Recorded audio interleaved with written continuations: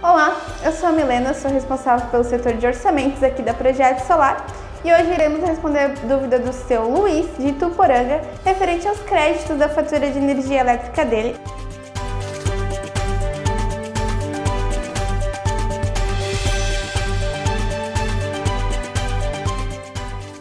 Então, seu Luiz está com dúvidas referente aos créditos que ele tem. Ele gostaria que fosse colocado outra unidade beneficiada para estar recebendo esses créditos. E ele nos questionou como é que a gente faz essa, esse pedido, como é que a gente lida, se é o cliente que faz, é o setor de pós-venda. Então hoje a gente vai sanar as dúvidas dele. O pedido de compensação é o nome que a gente dá referente a, referente a essa transferência de crédito. A unidade geradora, quando ela gera créditos, quando ela gera mais do que ela consome, ela pode transferir esses créditos pra, para outras unidades que a gente chama de unidade beneficiada. A diferença é que essa unidade beneficiada ela tem que estar sob a mesma titularidade da geradora. Então, supondo que o seu Luiz tenha uma empresa e essa empresa ele faça um sistema para compensar o consumo da residência dele.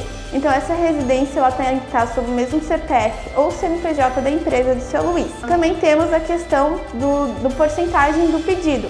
Então, supondo que o seu Luiz tenha duas residências para estar compensando esses créditos. A gente aqui do setor de pós-venda da Projeto, a gente mesmo faz esse cálculo de quanto que cada unidade vai receber de acordo com o consumo dela. Quanto maior o consumo da unidade, maior a porcentagem de crédito que vai ser destinado para ela. O seu Luiz ele consegue estar tá verificando o saldo que ele tem acumulado tanto na geradora quanto nas beneficiadas na própria fatura de energia elétrica dele. Ali na parte da fatura, em mensagens, o seu Luiz vai verificar que tem o saldo de todos os períodos que é referente ao saldo do mês, né? Saldo do mês de todos os períodos, que é referente aos 149 kWh.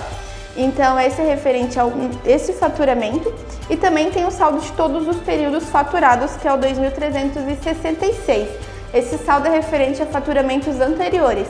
Então, supondo que o seu Luiz queira fazer agora o pedido de compensação, só faz ser transferidos para as beneficiadas os saldos feitos com os próximos faturamentos esse 2.366 vão ficar acumulados na própria geradora.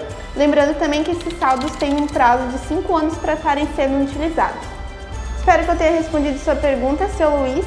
Caso alguém tenha mais alguma dúvida ou sugestão, vocês podem estar colocando aqui nos comentários que a gente vai ter o prazer de estar respondendo, tá bom? Muito obrigada pela atenção.